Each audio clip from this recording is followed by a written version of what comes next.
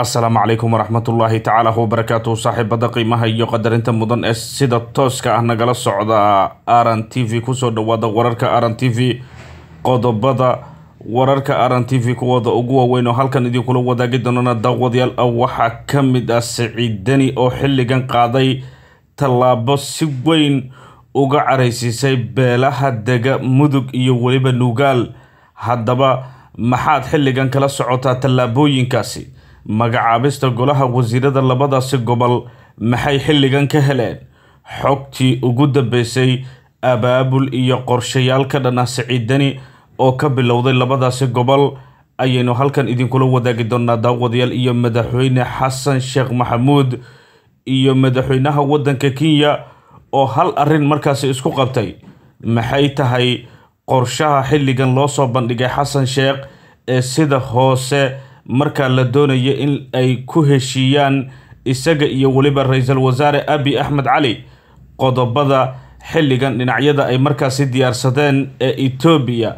xog culus ayaynu halkan idinkula wadaagi doonaa daawadayaal qodobadaas iyo weliba waxyaabaha kale ee nagu soo kordha ayaad wararka aran t v ku daawan doontaa fadlan daawada haddii ay tahay.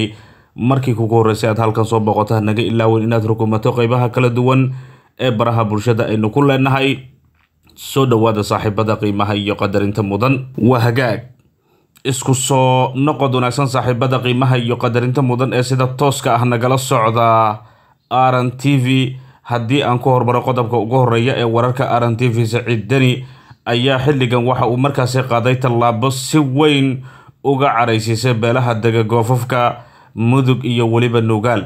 Hase yeeshee waxa uu markaasi magacaabay ilaa iyo kow iyo labaatan wasiir waxaana uu markaasi xilligan guud ahaanba isbeddel xoogan uu ku sameeyey wasaaradaha qeybta sare markaasi kaga jiray dhinaca puntland sida maaliyadda iyo weliba wasaarado kale oo muhiim u ahaa dhinacyada dadka degan ee deegaanadaasi oo si weyn u ilquudayeen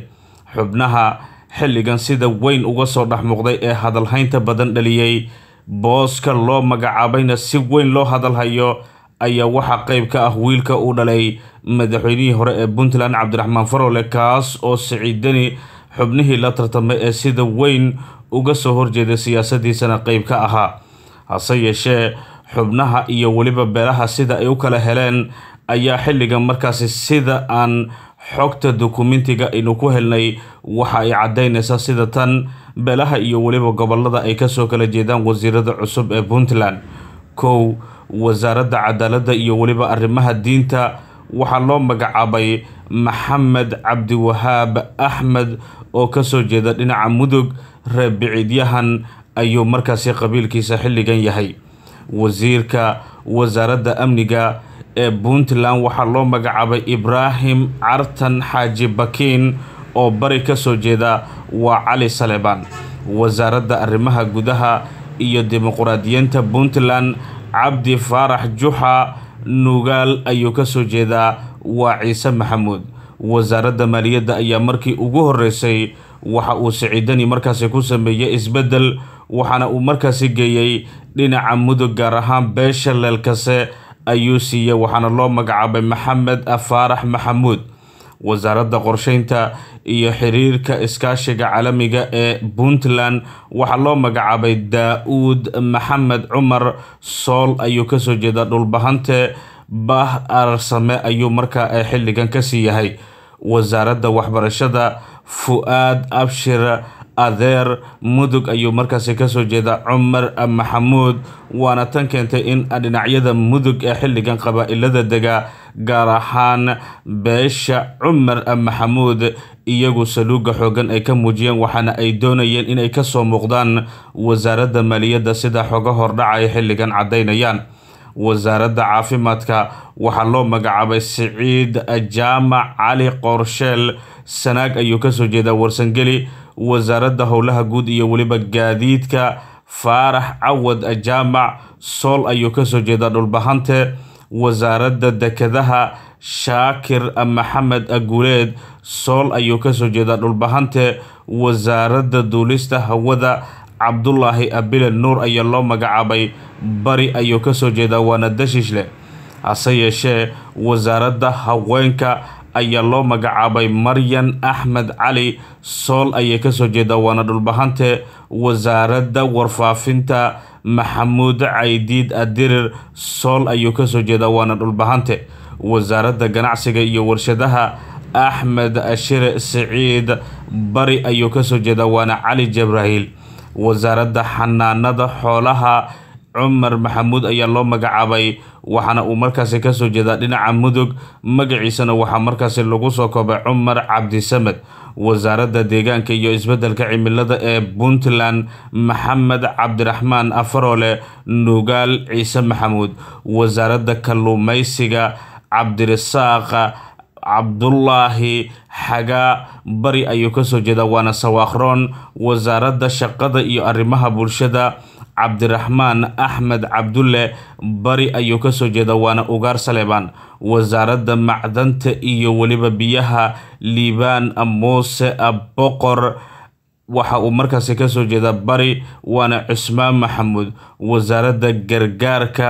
ubax cabdirashiid maxamed xirsi mudug ayay ka soo jeedaa waana leelkase wasaaradda beeraha iyo waraabka maxamed cabdulqaadir asaalax sanaag warsangeli ayuu ka soo jeedaa. Wasaaradda dhalinyarada iyo cayaaraha hodan saciid xasan sanaag ayay ka soo jeedaa waana warsangeli. Hase yeeshee xubnaha xilligan u badan ee dhinacyada wasiirada loo badiyey wasaarada muhiim ahna la siiyay waxaa qeyb ka ah beelaha warsangeli iyo dhulbahante taas oo xilligan markaasi keentay in dhinacyo badan ay ka gadoodaan tallaabada siciidani uu qaaday waxaana markaasi xilligan dhinacyadu ay bilaabeen abaabul xoogan oo ay arrinkaasi uga soo horjeedaan. Wahagaag markana waxaynu halkan idinkula wadaagi doonaa madaxweynaha jamhuuriyadda federaalk ee soomaaliya xasan sheekh maxamuud ayaa si weyn xilligan waxa uu markaasi uga biyadiiday qorsho iyo weliba damac la doonayay in saacadihii aynu ka soo gudubnay lagu kalansiiyo isaga iyo weliba ra'iisul wasaaraha wadanka etoobiya abi axmed cali. Qorshayaasha xooggan ee dhinacyada ay sida weyn xilligan isbarbardhigga ugu sameeyeen ayaa waxaa markaasi qeyb ka ah in madaxweynaha soomaaliya xasan sheekh maxamuud guud ahaanba xilligan uu isagu si weyn uga soo horjeestay damaca xilligan uu leeyahay ra'iisul wasaaraha wadanka etoobiya abi axmed cali kaas oo doonaya in qol mugdi ah looga wada hadlo masiirka shacabka soomaaliyeed ee dal iyo weliba xilligan iyo biyahaba ee soomaaliya si weyn ay xilligan dowladda federaalk ee soomaaliya shacabka soomaaliyeed ay isha ugu hayaan.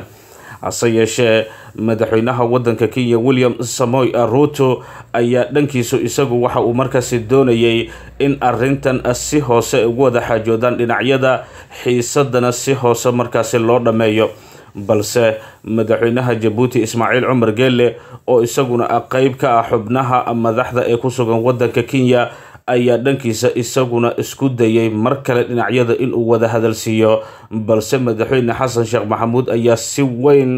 arintaasi uga horyimid waxaana uu markaasi dhinacyada u soo jeediyey in keliya ajandaha xilligan madaxda ay halkan isugu timid laga wada hadlo wixii kalena laga wada ballamo sida uu markaasi xilligan madaxweyne xasan sheekh maxamuud dhinacyada u soo jeediyey ma doonayno ayuu yidhi ajande ka baxsan shirka aan halkan u imaadnay ee soomaaliya haddii aynu nahay in laga hadlo waxaana markaasi taasi ay noqon karta ayuu yidhi in aanu markaasi dib u eegno shirkan nagula casuumay. Iyo sidoo kale taasi oo dhalin karta ayuu yidhi in aan dib uga laabano shirkan. Waxaana markii uu hadalkaasi madaxweyne xasan sheekh maxamuud yidhi dhinacyadu ay si hoose u dhigeen qadiyadda arinta xilligan ay isku hayaan soomaaliya iyo weliba etoobiya halka abina xilligan dhinacyada ay u soo jeediyeen in soomaaliya oo shirkan ka baxda ay keeni karto fashil xoog leh waxaana markaasi dhinacyada etoobiya ee damacaasi ka lahaa madaxweyne xasan sheekh maxamuud.